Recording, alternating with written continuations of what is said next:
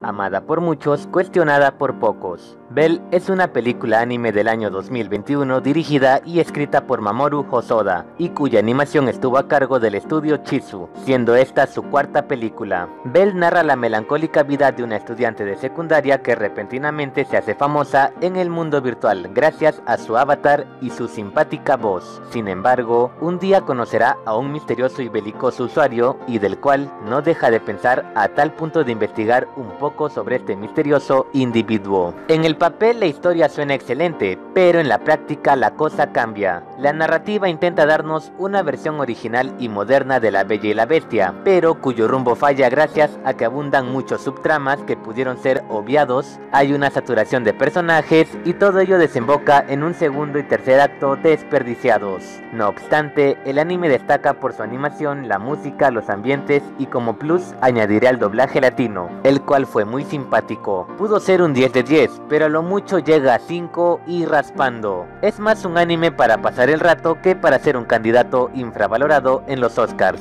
Lo pueden encontrar en DVD o Blu-ray.